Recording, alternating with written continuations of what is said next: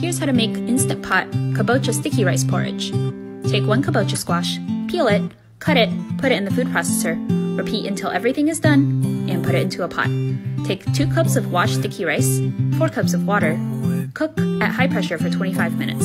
Stir it, take it out, and sugar to taste.